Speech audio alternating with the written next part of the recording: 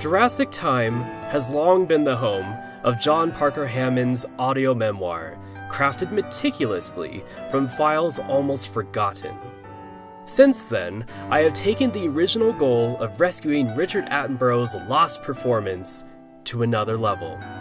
I realized there were many other aspects of Jurassic Park's history, both in concept and in the people behind them, that also deserve the same level of resurrection. So far, I have conducted several interviews with people involved in the franchise's history, featuring recollections and works of art that would otherwise remain dormant. They all form their own memoirs, capturing what it was like to be part of filmmaking history. These are the tales you will likely not find anywhere else on the classic 1993 film and beyond.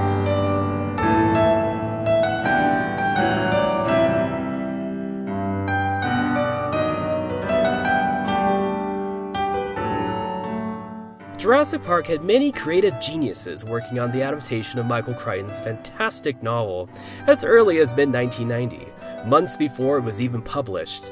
One of the many fantastic collaborators was John Gurche.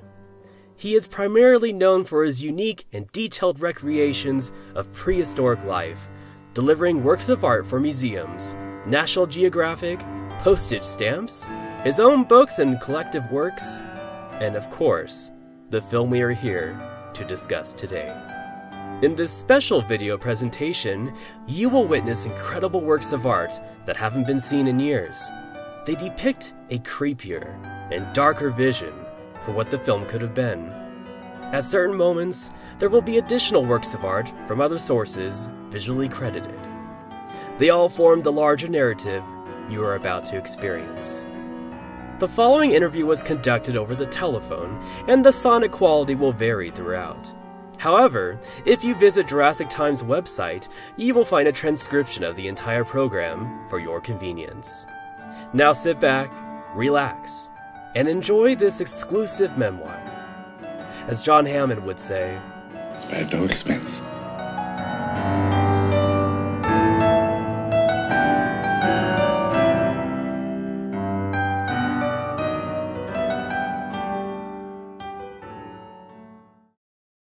Thank you for joining me, Mr. Gurche. Oh, thank you. What was it about prehistoric life that captured your imagination in the first place, leading to a lifelong ambition and career? Oh boy, that's it's a little bit of a tough one because it goes back so far that I almost have no memories of the time when it first arose. Oh, what I can tell you that about what I remember is that when I was a little boy, supposedly when I was four, according to my parents, I found a mouse skeleton under the bushes in the front yard. Uh, I was fascinated by it. I think it was the intricate detail that fascinated me. Later, after that, I grew up in a suburb of Kansas City, so there were fossils everywhere. And later than that mouse skeleton incident, I found a fossil. It was a very tiny one, and it was a little, very small brachiopod. It was about, I don't know, maybe four millimeters wide and again, it was something about the intricate detail that fascinated me. And I won't go off on a total tangent about this, but I think those two incidents are the aesthetic side of things that attracted me in both of those cases. I think there was an aesthetic dimension to my my little four year old self being fascinated with those details. and I would argue, and I'm just going to say one sentence about this, but I would argue that there's an aesthetic component to the work of a lot of adult scientists. Definitely. Usually some kind of moment from childhood that triggers lifelong aspirations, right? Right. Definitely. But for me it was visual. It was it was always visual. Yeah, was that considered your aha moment that turned your passion into a career? Well, no, because I didn't know anything about paleo art. Of course, when you like something as a kid, you draw it. So I started doing that right away, of course. But no, if I had an aha moment, I think it was much later. It actually happened during my first watching of the movie 2001: A Space Odyssey. Oh, I love that movie. Yeah, yeah, me too. And and I was I was uh, 16. I guess I was 17 at that point. I just finished my senior year in high school, and I was with my girlfriend at the drive-in. Uh, you know, I was thinking about the usual things you think of at the drive-in, but when I saw what was going on on screen, I forgot about all that, and I moved the car right up front so I could see what was going on, and I couldn't believe my eyes. And it really sort of enlarged my perspective. I'm ashamed to admit, a little embarrassed to admit how much influence that had on me. You know, I'd like to say I had many varied and sophisticated influences, but really, really that movie was what kicked the football down the field for me. I won't say too much about it because I could go on for hours about this, but but basically, just I think it got across the idea of what a large gap there is between something like an ape and something like a human being, and it sort of takes you that distance in the one jump cut from the yeah. the bone that's spinning in the air to the satellite that's orbiting Earth, and you realize that the satellite is a direct descendant of the bone, and that kind of thought had never occurred to me before. And I began to see humans as really a spectacular development in the history of life on Earth. That took me down the human path. I had a lifelong fascination with prehistoric life, but I, the human side of things, I didn't really get that part until really that moment. Yeah, I can see how it led to your other works, such as your amazing recreations of prehistoric man.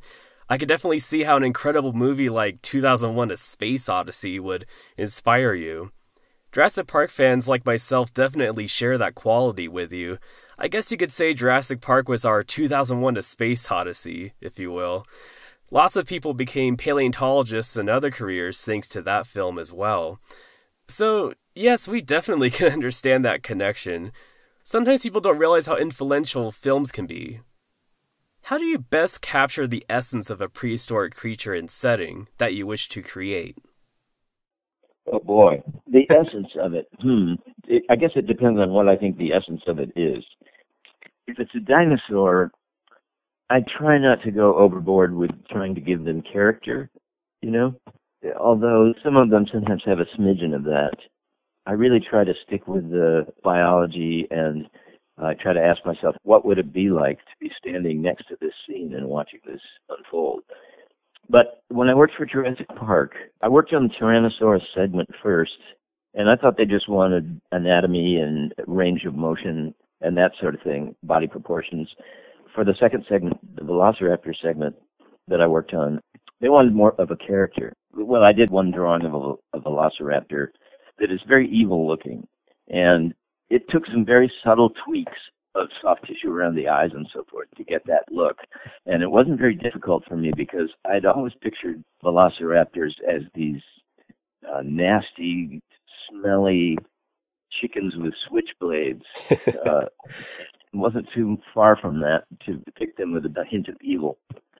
Oh, definitely. Like the way they are portrayed in the novel. They're pretty villainous creatures in Crichton's book, for sure. Well, they are sort of in a biological way. I mean, the movies took it a step further because they tried to give them an evil look, which really is kind of silly. We're just humans imposing our sort of frivolous ideas on these actual biological creatures. uh, 90 million years after the fact. I mean, it's kind of silly in a way, but I think that the book is pretty good about depicting them as very cunning, sort of, and you know they're smart and they are definitely predators. But the superimposition of a little evil on that, it, it's kind of a silly touch. But if it makes it more possible, more doable in a movie, then so be it. Kind of like when the raptor's lip curls in the kitchen scene right before it attacks the kids. I always questioned the accuracy of that moment. Yeah. Now, the Tyrannosaurus rex in the film had two distinctive structures in its head from the nose to the top of the eyes, resembling a distinctive brow. The raptors had a similar structure. A lot of paleo art incorporated that look after the film. Was this your idea, or did it come from elsewhere? No, I don't think it was my idea. I may have heightened it a little bit. When you look at a Tyrannosaurus skull, it has these sort of uh, rugose bumps in that area. You know, it's all above the eye. It starts just in front of the eye and it's over the eye. And so my interpretation of that was that there were some bigger scales there. But I don't think I was the originator of that idea. I think other people had done that before me. I'm not sure who. But maybe it will be reinterpreted in some other way in the future, you know? Yeah, paleontology constantly evolves, of course. So you've read the novel. What were your thoughts on it? My thoughts on it weren't 100% positive, to, to tell you. um, I I loved the dinosaurs, of course, and I loved the fast pace of the plot, but the humans were somewhat disappointing because I think Michael Crichton, for some reason, he has a problem with writing characters with any depth to them. Uh, so the humans, to me, were sort of like cardboard cutouts, really. Yeah, I've read a lot of his novels, and the characters were usually his weakest points. The science, of course, he always nailed, but the characters were actually an aspect of the film that certainly improved in comparison. They're a, a bit more invested in the story. I think that's right, and I think the characters in the movie are good, and they have good and understandable motivations and that sort of thing. Did you have any input for the human characters of the film? I, I didn't have input into the human characters. I had some input into the plot ideas because they were still kind of, you know, cobbling this thing together in 1990 when I was working. I saw a number of things, a number of ideas of mine die on the set um, because they because they didn't work out the way they wanted them to. There's a scene where there's a velociraptor or two that that are stalking the humans, and there's a scene where it, there's a hanging sheet of polyethylene, and one of them sticks its snout under the bottom of it and lifts it up and comes through. Well, that had an evolution, and that's one of my ideas that I saw die on the set was a, was a precursor to that. So I made a drawing for them of a velociraptor on the outside of the visitor center, and the power is out and it's dark. It's putting its hands on the the glass of the window in the door, and it's also kind of foggy and steamy. And that evolved into several things, but one of the things it evolved into was having the same sort of thing, but having the velociraptor be on the other side of a sheet of polyethylene, and then its claws rip through the polyethylene and shred it, and then it comes through. In one model, they had little razors inserted into the claws so it could do that. But it just wasn't working when it was filmed. It was just not coming off the way they wanted it to. So they ended up just nosing under the thing instead of ripping it.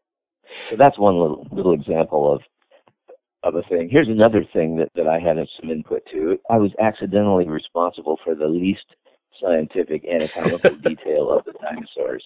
And here's the way it, it happened. Rick Carter called me, I think it was a Friday afternoon, and he said, Okay, I'm working on a plot segment here, and I'm wondering how to resolve this. Let's say some people are backed into a corner by one of these carnivorous dinosaurs. I think he mentioned specifically the Dilophosaurus, became the spitters. He has these humans backed into a corner, and then the paleontologist Grant, by virtue of something he knows as paleontologist that the others don't get, he somehow gets them out of that situation.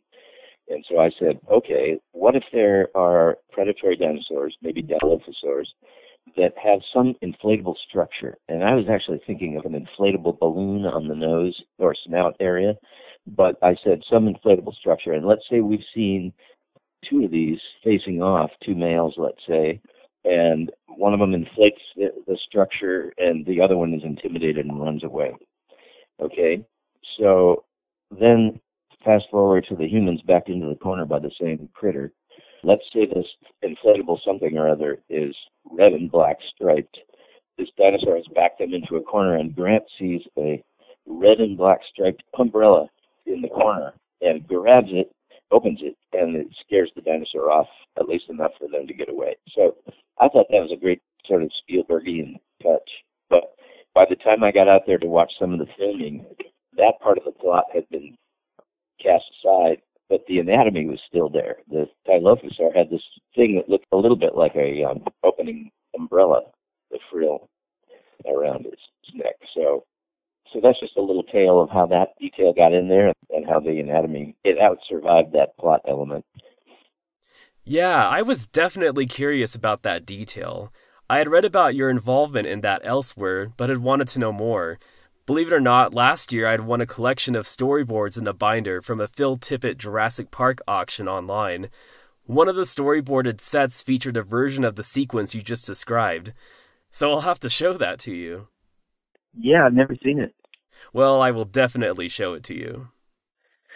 Well, yeah, I'd like to see it anyway. Oh, definitely. I love stuff like that. The story developments and how they changed and evolved as the film went into production. Those are probably my favorite details. I loved your idea of the spitter umbrella, by the way. I thought it was really cool and amusing, even. In the storyboards, it is done a little differently, but very similar. The kids use it instead of Grant.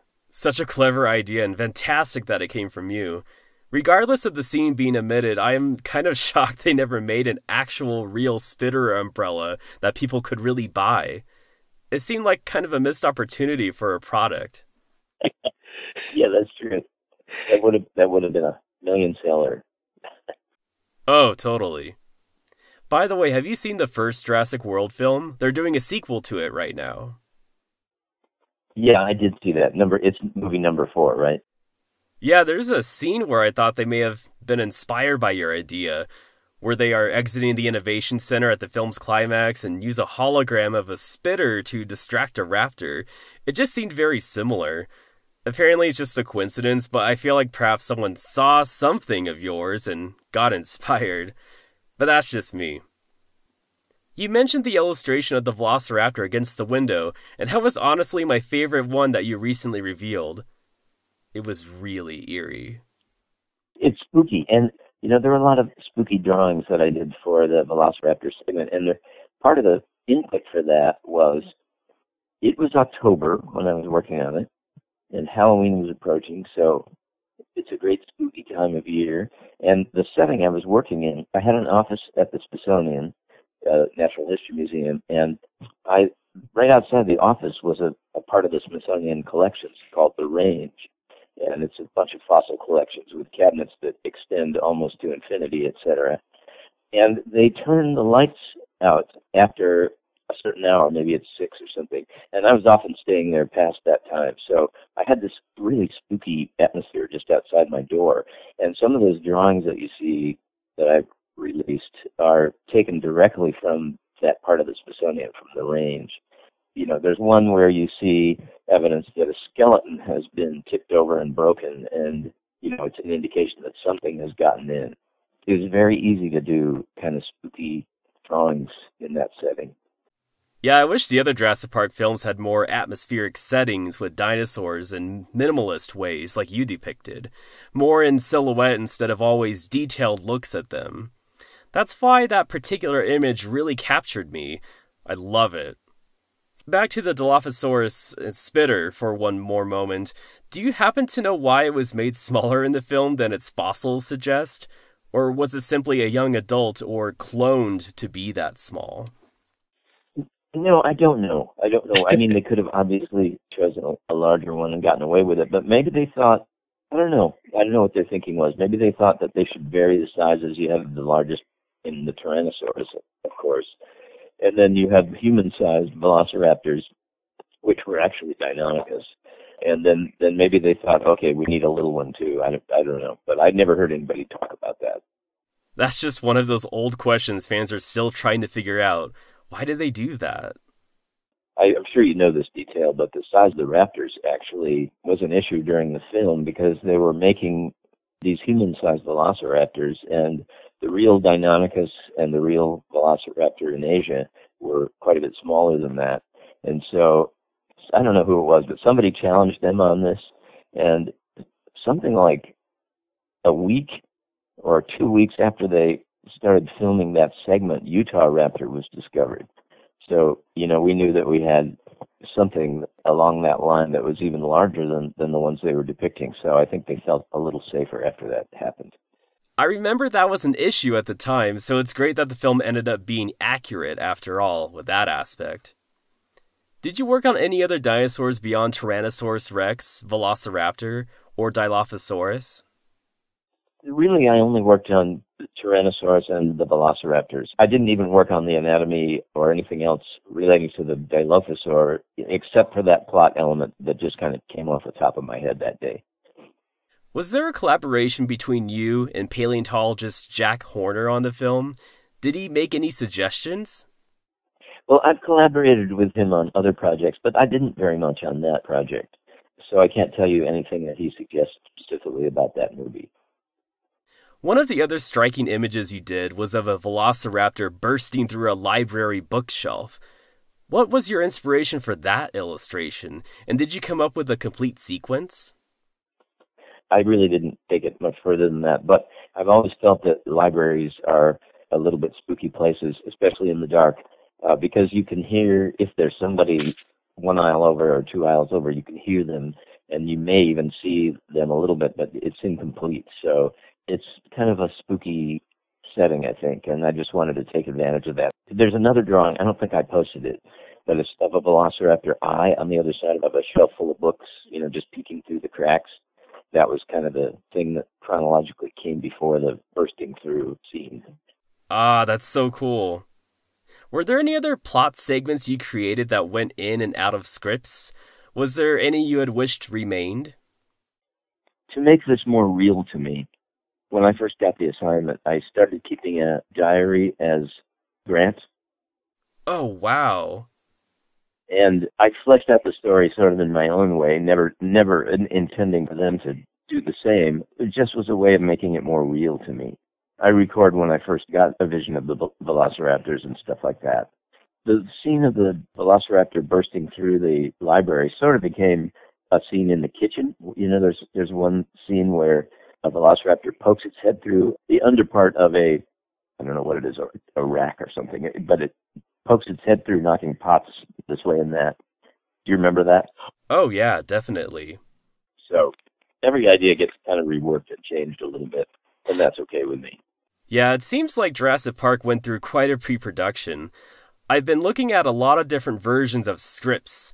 Ideas would constantly bounce around from one draft to the next, going in and out repeatedly. I'm sure many films go through the same thing, but it just felt like this one had more time spent on playing with ideas. So you've read the novel. Now, did you work directly with Michael Crichton? No, I didn't. I didn't work personally with him at all. No, I never even spoke to him. You know, I talked with Steven Spielberg and I talked with Rick Carter a lot. He was kind of my main contact, and some other people that were filming. And I went out there and got to meet everybody, and that was a lot of fun. But no, I never worked with Michael Crichton you know, when I posted the Jurassic Park poster that I painted, when I went out to watch a little of the filming, they had to ask me to do a plan for the poster, and so I took a pencil drawing of that same plan. Spielberg liked it a lot, but there was some debate about whether they wanted to use that or something else. So I was waiting, but it was getting near time when I'd have to be finished. So I started it even before I knew that it was going to be chosen or not. And Spielberg called me up one Friday and said that he was calling to give me the go ahead, the green light to paint it, and I was really happy about it. But I had a had a lot of work to do, and the deadline was coming up very soon. So I worked all weekend on it, and by Monday, the marketing department had gotten a hold of it, and they wanted you know something that was a, like a simple logo, and people already recognized that image on the front of the Jurassic Park book, so they chose that instead. I thought if I get a photo of this finished poster in front of Spielberg, then he'll choose it, maybe. And and so I really tried hard to do that. So, but he's surrounded by a circle of guard dogs whose job it is to not let you get to him. So I couldn't I could never call him back. That was a heartbreaking thing at the time. I can imagine. That poster is incredibly detailed and amazing. What's amusing to me is that they had people spend so much time on creating posters for the film, like John Alvin, who did a number of them, only to just end up using the logo set against nothing but black. but, well, there it is. Now, you said you went to visit the set and got to witness one of your ideas fade away, essentially. But what did you see at the set, and how often were you able to visit? Oh, well, I only went out for one session. I was out there a few days and so it wasn't a great long time. But it was fascinating to me to watch how things were done, and not only the complicated things, and not only the dinosaur scenes. Other stuff was very interesting too. And well, for example, Jeff Goldblum and Dr. Grant are talking in the car that's supposed to be going along a track, and it's nighttime. And I think it's the scene where Jeff Goldblum says, "I'm always on the lookout for the next ex Mrs. Malcolm." So that scene, the way they actually filmed it, was to have these two actors sit in the car, and they had a giant, slow rotating sort of turntable like gizmo, and they had these poles coming out from it that eventually resulted in a rope that was like a circle, sort of, or an octagon maybe, out along the perimeter. I don't know, 15 feet from the center of this rotating gizmo, and they hung these plant fronds on the rope with clothespins. And it was the most ridiculous looking thing. I thought, this is not going to look right. It'll be terrible. And so they didn't even try to make hang the foliage in realistic ways. They just sort of hung it up. They had it spin so the plants would go by the window. And meanwhile, the way they had the car sort of suggest that it was on a moving track was that they had a cinder block and a two by four, and a guy standing in front of the car, leveraging the bumper and moving it a little bit up and down.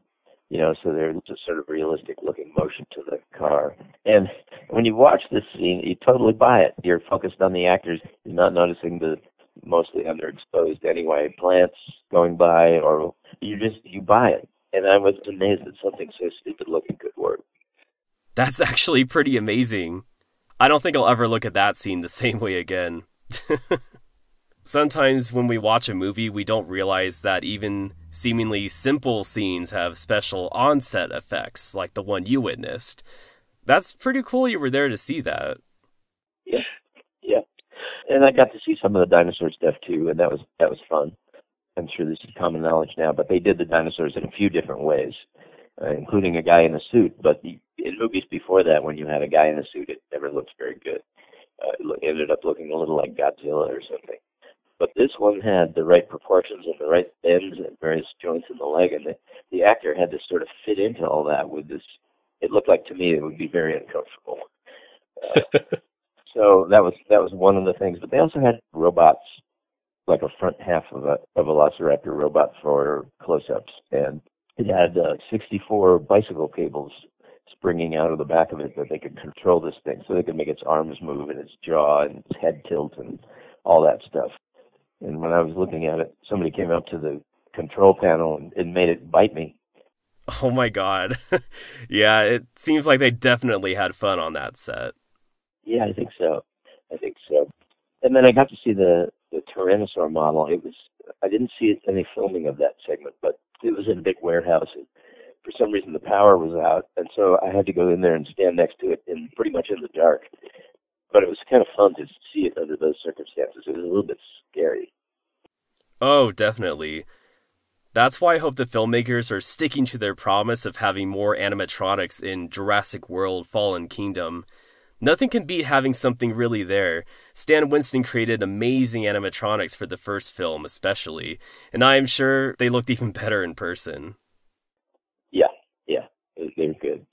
So, since it was brought up before, what did you think of Jurassic World? I didn't like it.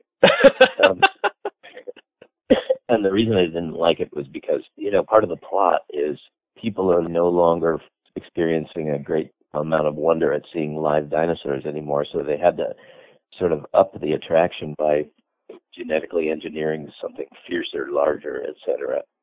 Well, I think that was the philosophy also of the movie makers. They were saying we got to really we got to have motorcycles running through the woods as velociraptors and just a bunch of ridiculous stuff like that.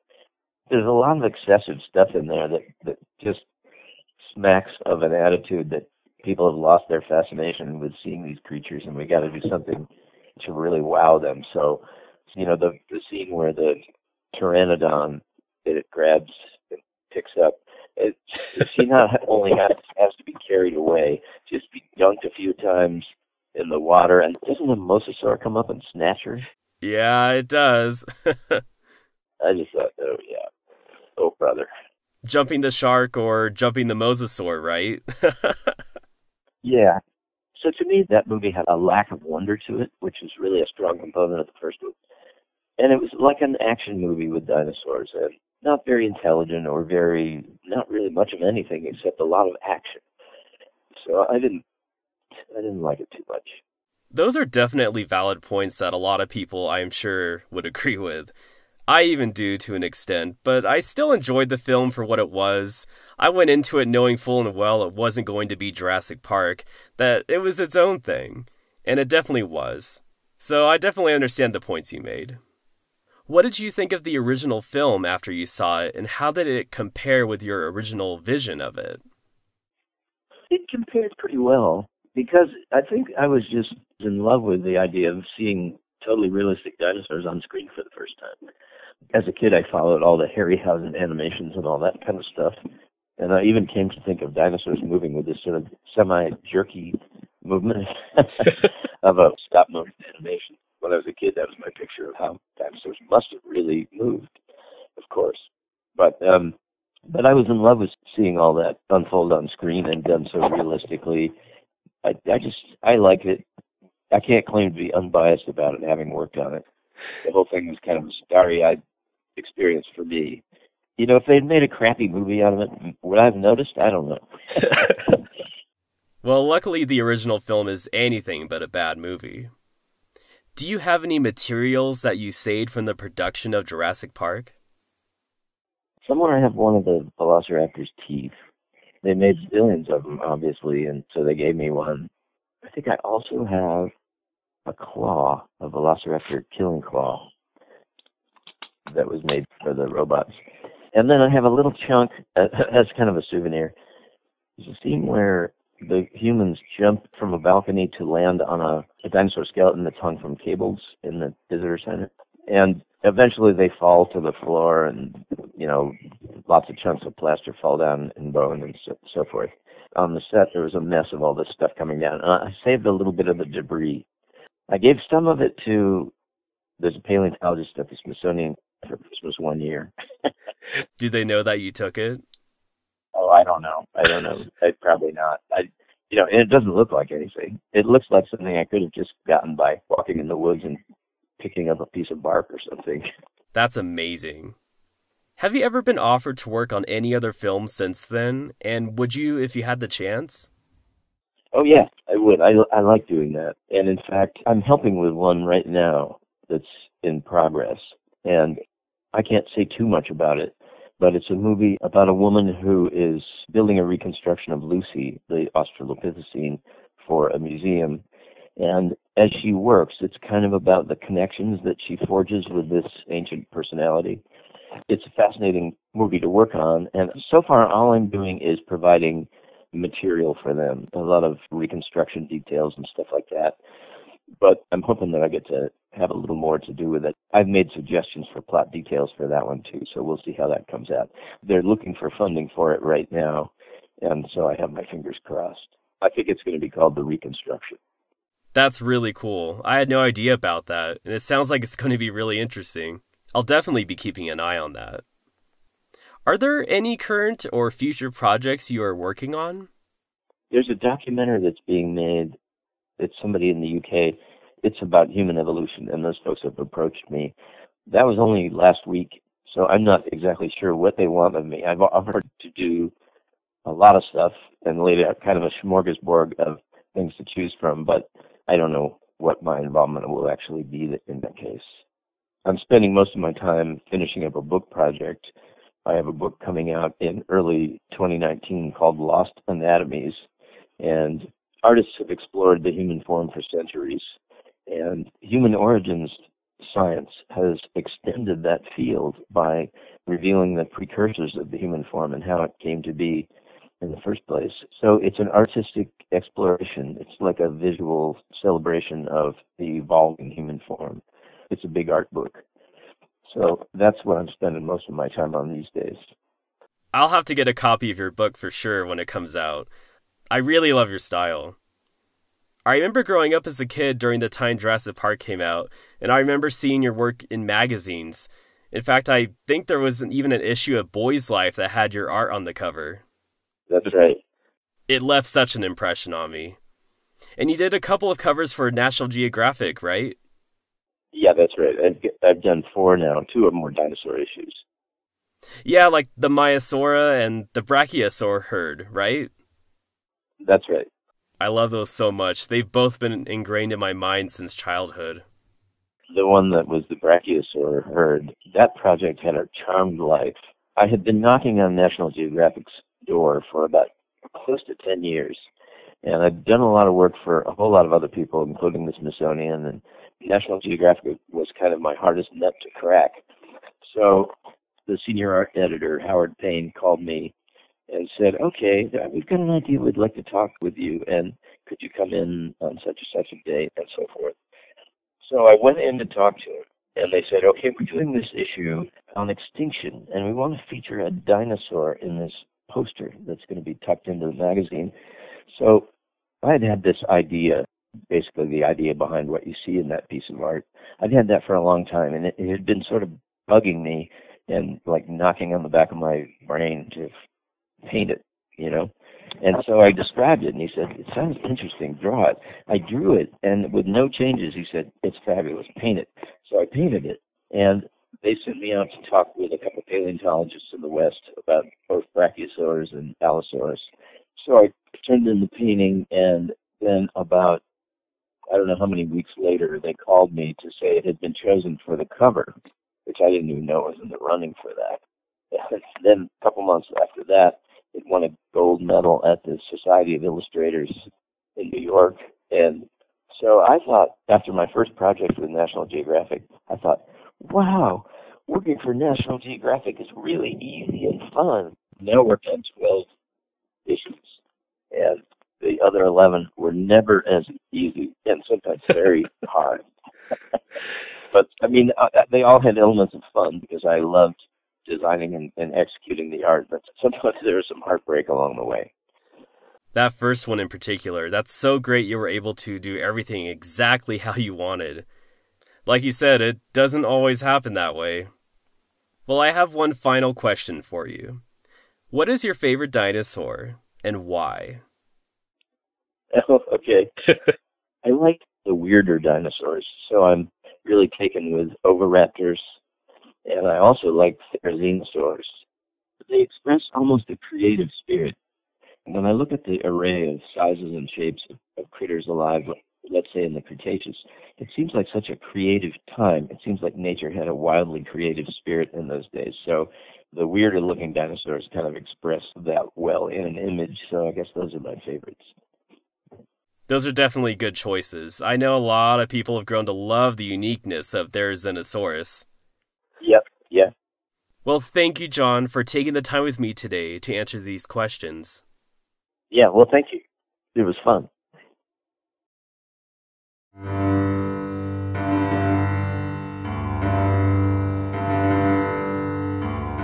I hope you enjoyed this special look back in Jurassic Park history. John Gurche had quite a vision for the original film, and despite many of his fantastic ideas being put aside, they snowballed into many details that remained. Of course, John has been quite busy since working on that film, so why not follow him to see what he is up to? Check him out on Instagram, Facebook, and his website, www.gurche.com. That's www.gurche.com. I would like to thank him for his time, and thank you for watching. There are always more stories on the making of this incredible franchise just waiting to be found. As John Hammond would say, In a darkened room in an empty building with a dirty floor, it waits. The flashpoint, the origin of Jurassic Park. Be sure to return to Jurassic Time for more. Visit the Facebook page for the latest updates or check out the website at jurassictime.trustcom.org. This has been Derek Davis. I hope you enjoyed this program.